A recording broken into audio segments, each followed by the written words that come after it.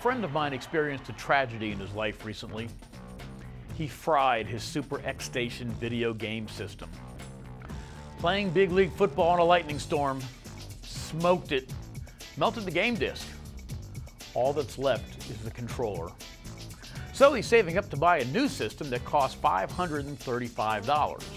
Now, he already has $247 in the bank from birthdays and various holidays and his job. Each Saturday, he works as a bag boy at a local grocery store and makes $24, which he puts right into the bank. The question is, how long will it take him to save enough money to replace his cooked console? Well, we can write an equation to help us solve this problem. Now, he gets paid by the week, so we'll let X represent the number of weeks it will take to save the money. He earns $24 each week, so the amount he earns can be expressed as 24x. Next, we'll add on the money that's already in the bank. And when we put it all together, it will equal 535, which represents the cost of the new system. We often call equations like this multi-step equations because there are many numbers attached to many operations that we have to eliminate to isolate the x. As a general rule of thumb, we start with the number that is either added or subtracted. We'll subtract 247 from both sides of the equation, which eliminates the plus 247 and leaves us with 24x equals 288. Finish off this basic one-step equation by dividing both sides by 24, because that's the opposite operation of multiplication. And x equals 12.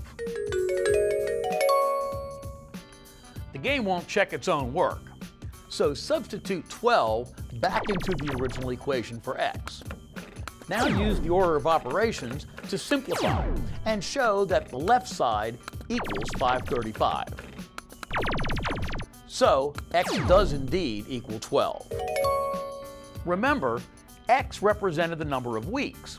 So it'll be 12 weeks before I, I mean, my, before my friend saves enough for a new game system. There are many variations on multi-step equations.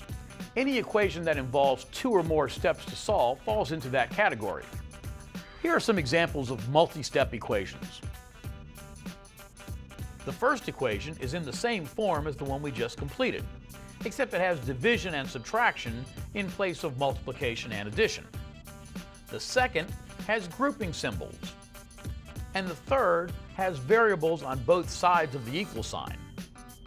In the first equation, we'll still follow the rule that you eliminate the number that is added or subtracted first. In this case, adding 4 to both sides to eliminate the minus 4. Then finish solving the resulting one step by performing the opposite operation of division, multiplying both sides by 3. x equals 27. In the second example, we begin by using the distributive property to eliminate the parentheses multiplying 6 by x, and then by 2. Now the equation looks like the others we've done. Subtract 12 from both sides, and divide both sides by 6. x equals 5. Finally, the one that looks the most complex because it has more than one x. Our objective is still to isolate the x on one side of the equation. So we'll start by eliminating one of the x terms. Subtract 4x from both sides.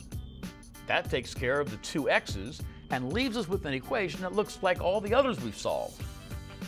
No matter how many steps we do, we continually simplify the equation and reduce it to a familiar form which we already know how to solve. Final answer, x equals 7. And with all of these equations, once you get a solution, don't forget to check your work. Lasers armed. There's a method to solving these problems, and if you learn it, you'll have hours of mathematical fun. Always follow the rules in the right order.